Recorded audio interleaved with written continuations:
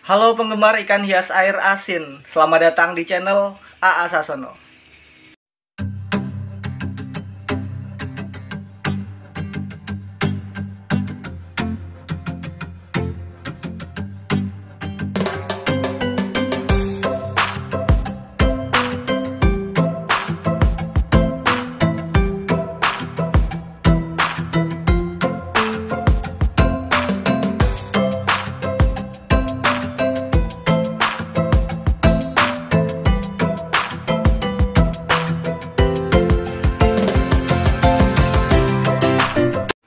Oke teman-teman, jadi saat aku membuat reef tank ini atau ak akuarium air asin ini, aku sama sekali belum sempat mengukur kadar garamnya dan itu ternyata fatal karena ikan air laut itu ternyata sangat sensitif terhadap material-material yang ada di air, terutama kadar garamnya juga.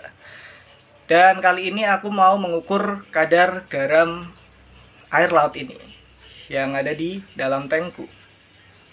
Nah, alat yang aku gunakan adalah ini dia,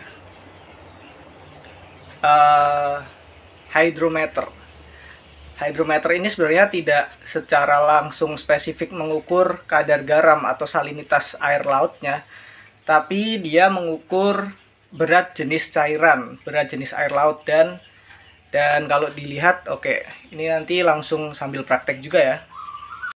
Nah, kalau dilihat itu ada dua skala kan teman-teman. Di sebelah kanan yang 1.0 10 sampai 1.030 dan sebelah kiri antara 16 sampai dengan 40 jadi ini sebelah sini ini adalah mengukur uh, berat jenis airnya. Karena setiap air laut itu memiliki berat jenis yang berbeda tergantung kadar garamnya. Di setiap daerah setiap tempat itu bisa berbeda-beda. Dan sebelah sini ini aku kurang tahu mungkin kalau aku salah bisa dikoreksi teman-teman. Sebelah sini adalah skala uh, salinitasnya atau kadar garamnya. Ini sudah disesuaikan untuk mengukur air laut. Di sini ada sea level gitu kan. Specific gravity. Nah ini menunjukkan bahwa ini adalah uh, berat jenis. Berat jenis kan masa kali gravitasi kayak gitu teman-teman. Nah cara menggunakannya bagaimana? Ini nanti tinggal kita isi air setinggi ini. Jadi pokoknya lebih tinggi dari skala-skala ini. Dan nanti kita lihat jarumnya menunjukkan di angka berapa.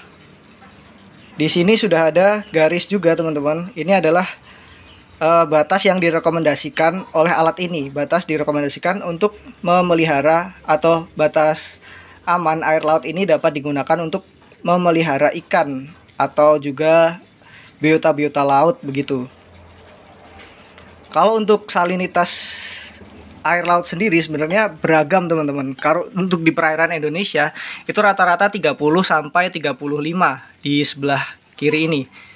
Dan untuk perairan yang dalam, perairan luas itu bisa sampai 37 kadar garamnya. Tapi untuk akuarium, untuk di akuarium itu direkomendasikan antara 25 sampai dengan 30. Antara 25 sampai 30. Tapi untuk pengukuran menggunakan hidrometer yang eh, mengukur berat jenis ini direkomendasikan di angka 1020 sampai 1023 begitu teman-teman. Dan langsung kita coba aja untuk mengukur uh, kadar garam yang ada di akuariumku. Caranya gampang banget. Ini tinggal kita masukkan aja air di dalam sini. Ini sudah ada uh, lubangnya di bawah. Nanti mekanismenya air akan masuk ke sini dan memenuhi ini. Jadi langsung dimasukkan saja begini. Kita tunggu airnya masuk.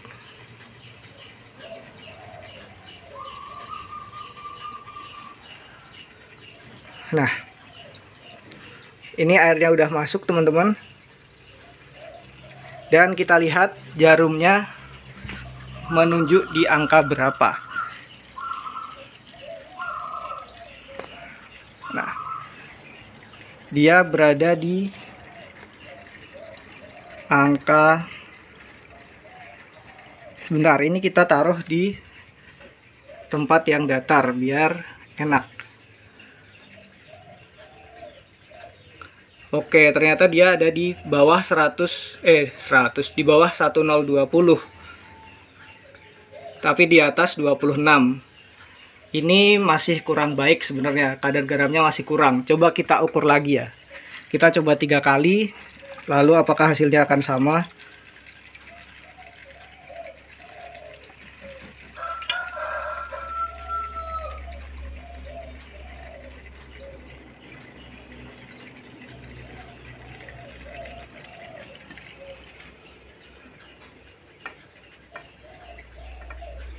Oke. Di angka 26. Satu kali lagi.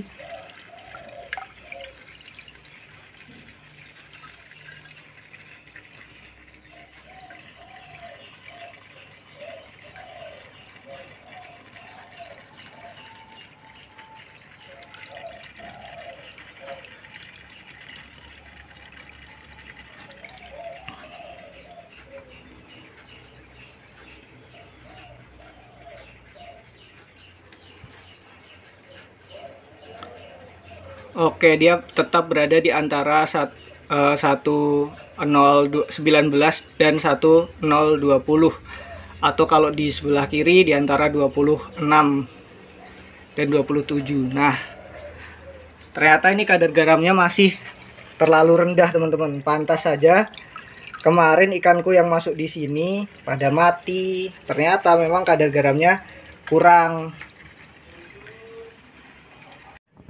Oke, jadi emang kadar garamnya ternyata masih terlalu rendah, tapi itu nggak masalah. Nggak masalahnya karena ini nanti seiring berjalannya waktu, seiring berjalannya waktu.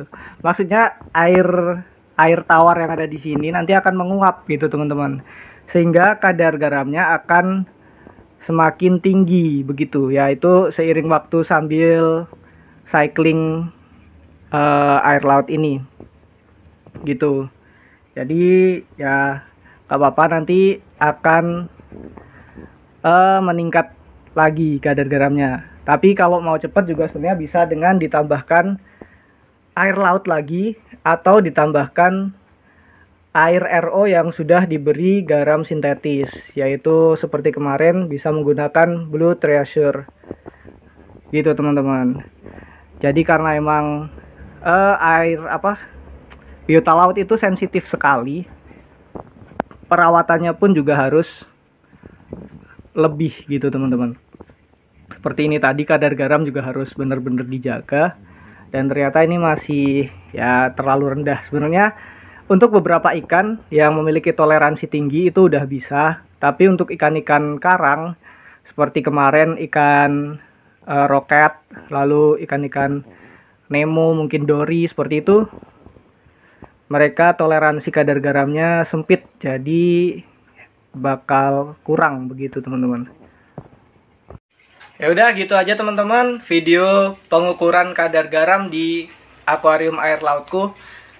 Uh, memang untuk kali ini masih kurang kurang asin ya. Masih terlalu rendah tapi nanti seiring berjalan waktu sambil cycling juga kadar garamnya akan naik juga seiring penguapan air tawar ini Nah, kalau misalnya kok uh, kadar garamnya terlalu tinggi, misalnya sampai 37 atau 40 kayak gitu gimana? Itu tinggal ditambah air tawar aja, nanti dia akan turun kadar garamnya. Uh, gitu teman-teman. Uh, oh ya, tambahan informasi lagi tadi kalau aku cari informasi ya. Kalau untuk ikan-ikan laut itu sebenarnya di angka 1019 itu udah ada yang bisa tadi aku bilang. Tapi kalau ada koralnya, maksudnya mau melihara seperti anemon, lalu koral-koral kayak gitu, itu butuh yang lebih tinggi lagi, bahkan di atas 1030. Bisa di angka 1 1030 ya. Pokoknya lebih tinggi lagi, sekitar 1025 ke atas gitu. Atau untuk salinitasnya di angka 30 lebih, 33 atau 34 kayak gitu teman-teman. Ya udah sekian video kali ini. Jangan lupa komen dan subscribe, like jika kalian suka dan sebarkan biar makin banyak lagi yang tahu. Sampai jumpa di video selanjutnya.